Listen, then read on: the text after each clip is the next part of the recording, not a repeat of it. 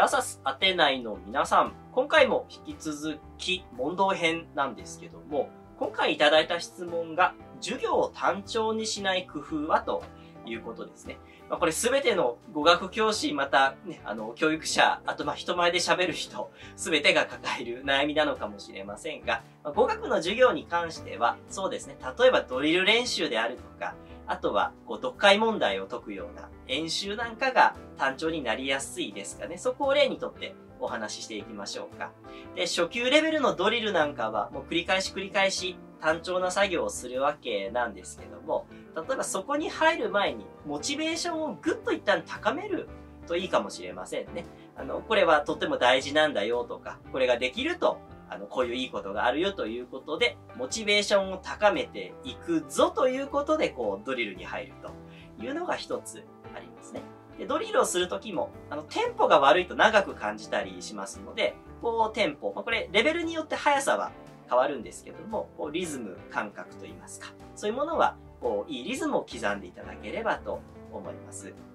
で、あとはですね、まあ、あの、ゲーミフィケーションなんて最近言われることはありますけども、なんかこう、ゲーム形式にして、こうできたらポイントが上がっていくとか、まあ、他の、ね、クラスメートとか、とあの、チーム対抗戦とかでこう、あの、どっちが勝つ負けるみたいな、まあ、煽りすぎてもいけないんですけども、あの、競争心をちょっと刺激したりしながら、こう、楽しんでるうちに、ね、身についていくみたいなものが、あの、いいのかもしれませんね。はいで、まあ、ドリルはこのぐらいにして、あと、まあ、読解ですよね。試験問題の読解の、まあ、演習になってくると、まあ、次から次へと問題を解く正解不正解みたいなことになってしまうんですが、まあ、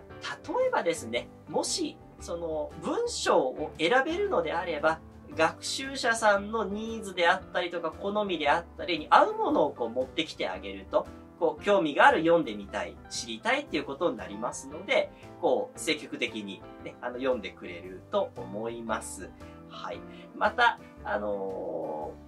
ー、これ、最後の方にオチがあって、ね、面白いのわかるかなとか、ね、あのー、そういうふうな、風にちょっとこう、刺激をするというか、こう、なんていうか、メンツみたいなものを刺激することによってみんな一生懸命わからないと恥ずかしいですので、あの、読むだったりとか。で、また、時間を計って、ね、この文章は何分で読みなさいみたいなことになるんですけど、それも、まあ、ゲーミフィケーションというか競争みたいな感じで、行くよ行くよ、用意ドンみたいな、よくできたみたいな感じで、はい、あの、していただけると、結構、あの、楽しんで、あの、読んでいただけるかなと思いますので、なんかそういうものを、同じものばっかりやると飽きますので、組み合わせたりとか、あの、することで単調にならないのではないでしょうかという。ことで試していただければ幸いです。